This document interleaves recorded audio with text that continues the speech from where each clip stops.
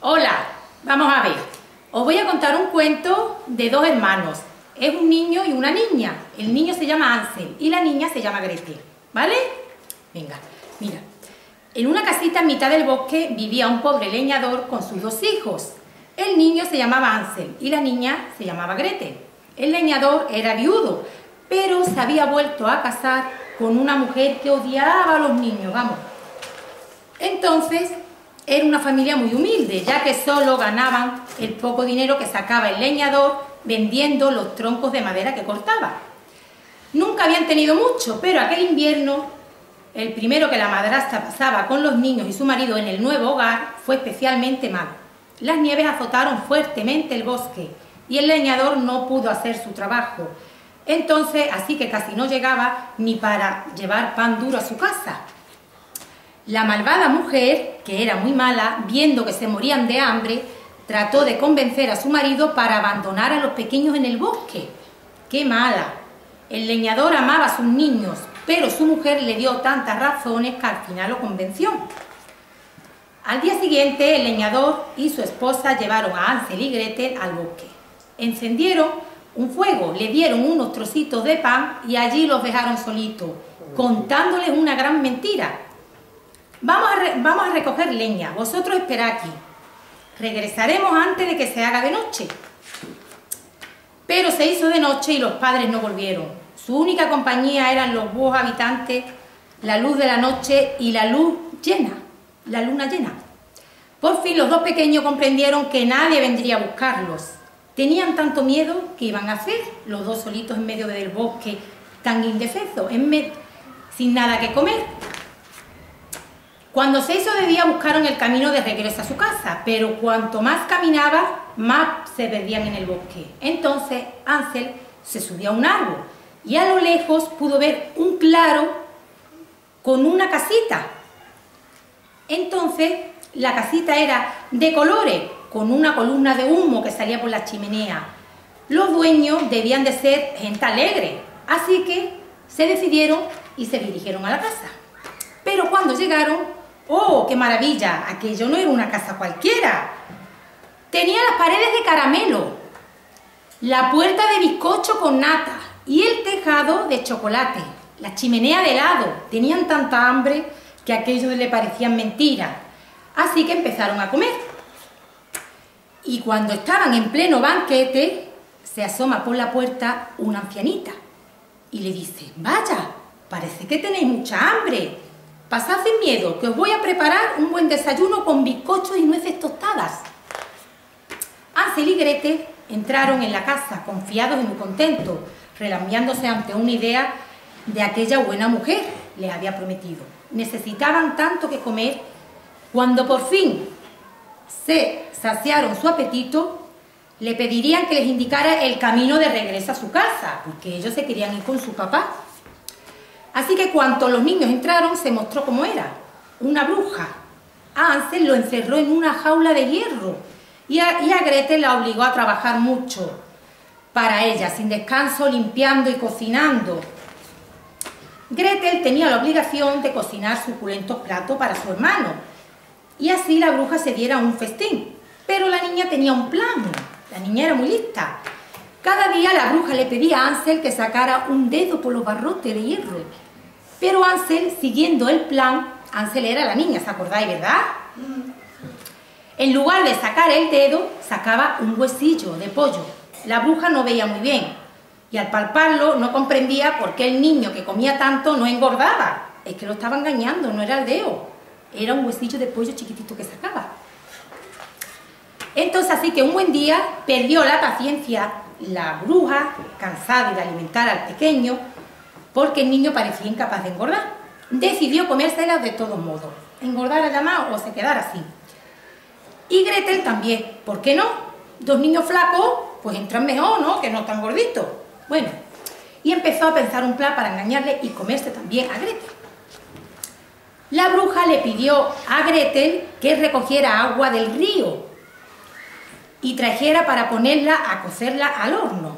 La bruja en realidad quería aprovechar que la niña se acercaba al horno para empujarla dentro. ¡Qué mala! Así tendría un rico asado para cenar. Pero Gretel, que era una niña muy despierta y muy lista, sospechaba siempre de la bruja.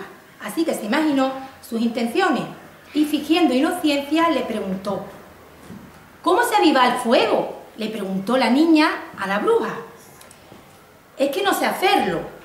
Si lo hiciera usted primero, yo me fijaría y así después lo haría yo. Entonces le dice la bruja, dice, venga, mira y aprende.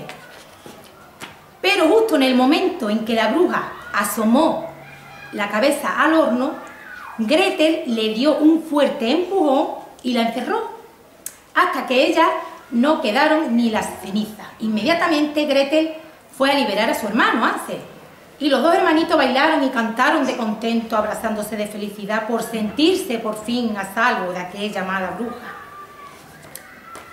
Bueno, como ya no, tenían a nada ni a nadie, dispusieron un banquete con toda la golosina que había en la casa. Y por fin se echaron a descansar, satisfechos y felices. Cuando despertaron se pusieron a buscar un saco grande para cargarlo de comida, ya que deseaban regresar a casa y querían hacerlo con las provisiones necesarias, buscando y buscando, en lugar de un saco, encontraron una caldera llena de joyas y moneda de oro. Eso para ella iban a ser ricos, ya para siempre. Metieron cuantas, cuantas golosinas pudieron en sus bolsillos y cargaron una carretilla con el tesoro de Caldero. Salieron en busca de la casa donde estaba su padre. Caminaron mucho, mucho tiempo, pero al fin encontraron la casa del leñador. El leñador sabe quién era, ¿no? El padre. Eso que le recibió con una inmensa alegría, ya que desde que lo abandonó no paraba de pensar en sus niños, no podía dormir de noche. Entonces, el padre les contó que la madrastra, que era también muy mala, que fue la que obligó al padre a abandonar a los niños en medio del bosque solo, le dijo que se había muerto, por, probablemente envenenada por su propia maldad, de lo mala que era. Entonces los niños le enseñaron el tesoro que traían.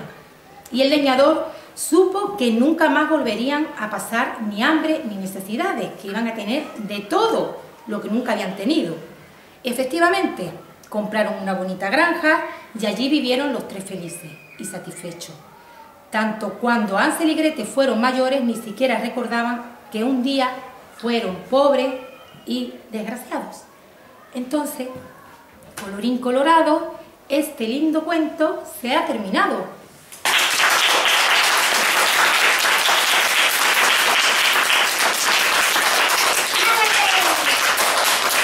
Gracias, gracias.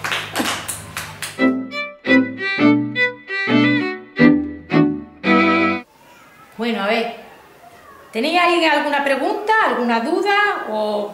Venga, venga, damos por ti. Estaba muy bonito. ¿Te ha gustado? Sí. ¿Pero quieres preguntar algo?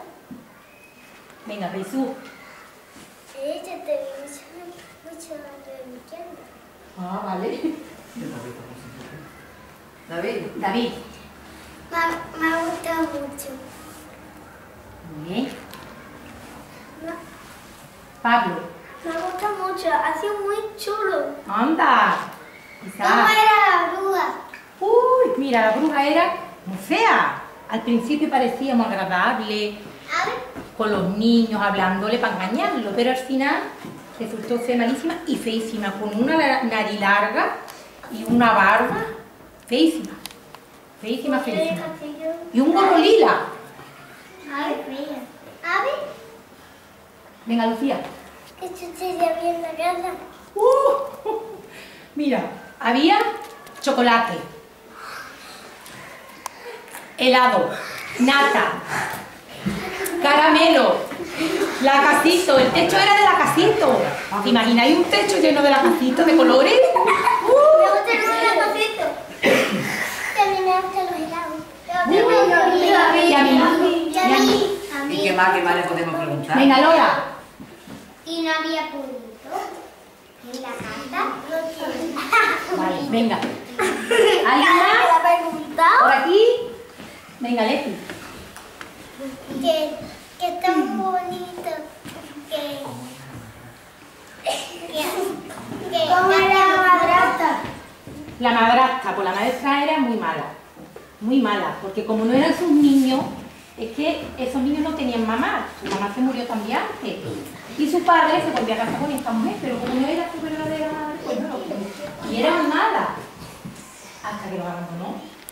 A ver la bruja. Queremos ver la bruja. Queremos ver la bruja. Mira. Mira, esta era la madrastra. Mira, ¿ves? A ver. A ver. Esta, esta, esta. Mira, esta y esta era la niña. ¿La niña cómo se llamaba? Grete. Grete. ¿Y el niño? Ángel. Ángel, muy bien. Y esta Gracias. era la madre. Exactamente. Esta era la madrastra. Mira. Y la. Mira, ¡La ¿ves? veo! Mira, los niños jugando, ¿ves? Los dos hermanitos jugaban siempre y este era, este era su padre. El leñador, mira los dos, mira los dos niños solitos en el bosque, mira, ¿ves?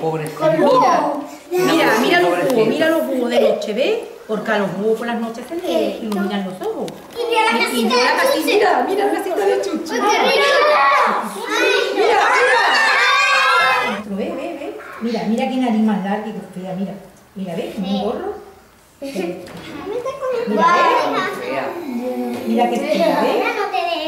¡Uy, de chuche! Mira, ¿ves cuando encerró al niño en la jaula? Hace. Mira, ve, y la niña pues limpiando, cocinando. La tenía muy cansada, mira, ve. Mira, va, mira. Mira, ve, Y cuando ya la metí aquí dentro, era. ¿Ve? Ya había sacado a su hermano, se habían hartado de comer todas las chuches que había en la casa. Mira, ve, se acostaron los dos con la barriga llena. Dios, la Mira qué corta. La tiene corta. Mira, ve. Y esto fue cuando se encontró, ¿ve? Dinero. Dinero, mucho, mucho, mucho, mucho, mucho. de chuche. Mira, la casa entera de chuche, ve el tejado de chocolate, con la casito. Ve, mira, y esto era de nata. Mira, de galletas, de gomita.